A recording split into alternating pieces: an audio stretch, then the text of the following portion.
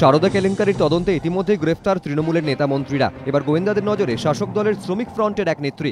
শীঘ্রই তাকে তলব করতে পারে সিবিআই এবং এনফোর্সমেন্ট ডিরেক্টরেট। কেন্দ্রীয় গোয়েন্দা সংস্থার দিল্লি দফতর সূত্রে খবর, কোটি কোটি টাকার এই কেলেঙ্কারির তদন্তে বারবার উঠে এসেছে শাসক দলের শ্রমিক ফ্রন্টের এই নেত্রীর নাম।